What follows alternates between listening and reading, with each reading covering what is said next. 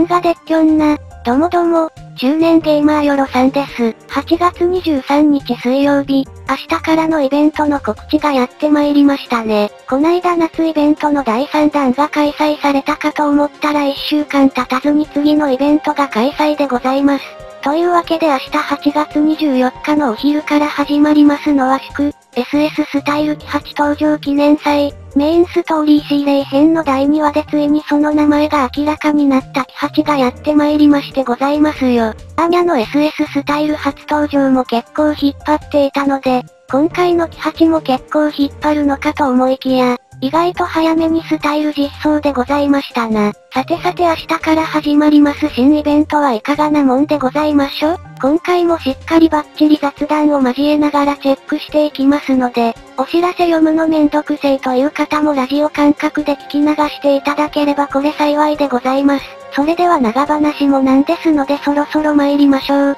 祝、SS スタイル機8登場記念祭、お知らせ確認雑談動画、行くぞー。というわけでまずはログインボーナスのお話から、SS スタイル機8登場記念祭りログインボーナスということで、期間中最大7日間で5000ジュエル、自動再選チケット500枚、そして新スタイルの専用ピースをそれぞれ25枚ずつに遠征チケットやスタ在賞をプレゼント。開催期間は9月7日4時まで、さすが新ヒロインの SS スタイル登場記念でございますな。これまではイベント開始時に3000ジュエル配布でございましたが、今回はいつもより多めの5000ジュエルプレゼントとのこと。しかしいつもよりもらえる新スタイル専用ピースが多数あり、ということはそういうことなんでございましょうな。そしてまたまたログインボーナスのお話。8の SS スタイル登場と同時に SSS 剣武器の一泊試運をプレゼント。こちらは明日の12時から無期限で入手可能ということですので、今後ロマサが RS を始められるという方や、しばらく離れていたけど久しぶりにロマサが RS に帰ってきたという人ももらえることができますな。そして最初から超進化した状態でゲットできますので貴重な進化素材を使わなくていいというのも良き、なんですが、剣なんですね正直別の武器種で来て欲しかったと思う今日この頃。続きましてガチャのお話。ウルトラデラックスガチャ機8編ということで、ウルトラデラックス限定スタイルとして機8、ミーティア、そしてプラ落ちスタイルとして先日メインデイススタイルが実装されたばかりの生命こと陰陽師が登場でございます。気になる新スタイルはこんな感じ。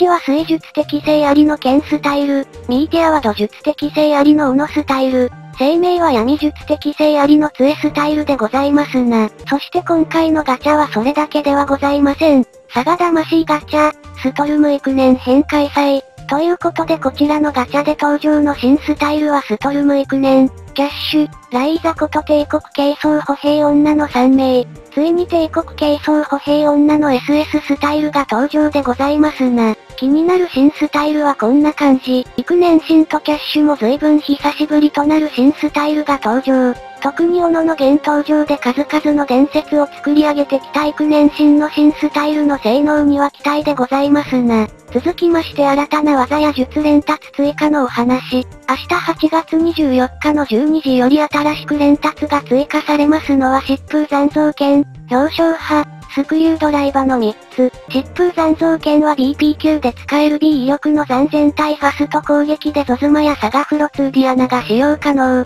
表彰派は BP 級で使える C 威力の残霊全体攻撃で味方生存者全員の腕力バフ台のおまけ付きでレスリーが使用可能。スクリュードライバは BP10 で使える S 威力の突単体攻撃で女性特攻のおまけ付き。どれも単純に威力アップといった感じでございますかね今回連達が追加される技3つのうち2つが剣技ということで、これら2つをキ8かキャッシュが所持しているとは思いますが、キ8は別の優秀な技を所持してほしいところでございますな。スクリュードライバープラスはライザが所持して登場ですかねそして今回またまたバフ解除技の追加実装はなしとのことで、来月の現登場での体験と棍棒の救済措置は未だナッシング。こや次の生放送終わりの連達追加に期待するしかないですな。続きましてイベント関係のお話。討伐クエスト、ネズミの群れとの戦い、開催。ということで久しぶりのアルジャーノンとの高難度バトルでございますな。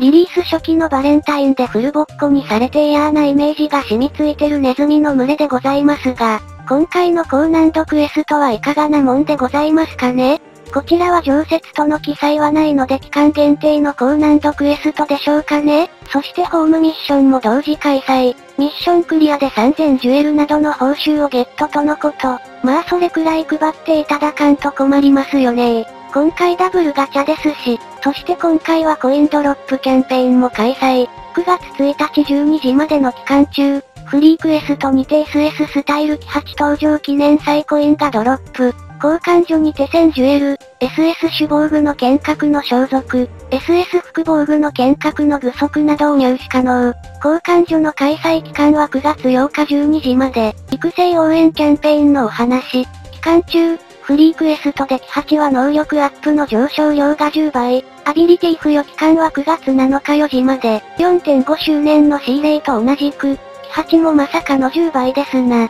その他応援キャンペーンのお話、新ガチャキ8編と育年新編のピックアップスタイルは HP4 倍、ステ3倍、技ランクアップ2倍のボーナス対象、そしてピックアップキャラの別スタイルと理由2のキャラ、陰属性のスキルを持つキャラ、武器種が剣と斧のキャラは育成3倍となっております。これらも9月7日4時まで、続きまして探索応援キャンペーンのお話、新ガチャのピックアップスタイルは期間中フリークエストにて、9月1日12時まではイベントアイテム追加ドロップのボーナス対象、9月7日4時まではステージレベル経験値2倍のボーナス対象となっております。そして9月1日12時までの期間中は探索ポイントのドロップ枠2倍と、ロマンシングメダルドロップ量2倍のキャンペーン。そして同じく9月1日12時までの期間中、1万オーラムが追加ドロップとスタイル強化経験値5倍。そしてフリークエストでのスタミナ消費量が半減とのことです。まあ正直ここら辺はいまいちありがたみを感じないキャンペーンでございますな。9月1日12時までホーム画面の BGM とローディングイラストが変更とのこと。おそらくこの日は長時間メンテナンスからの生放送でございましょうな。そして今後のキャンペーンの予告、ロマンシングショップにラインナップ追加で商談の免状1が追加。そして新しく超進化対象武器にラインナップ追加。今度は光術的性持ちの SS 剣が対象とのこと。ってことは生放送終わりのガチャでは光術的性の剣スタイルが登場ですかね。アルベルトもジェラールも比較的最近実装されたような気がしますが一体誰が来るんですかね。ついにレオンのガチャゲン SS スタイルが実装でございますかね。とまあ今回のお知らせはこんな感じでございますな。さてさて、ついに登場の新ヒロインキ8は今後の高難度攻略での環境に必須となるスタイルになるのか。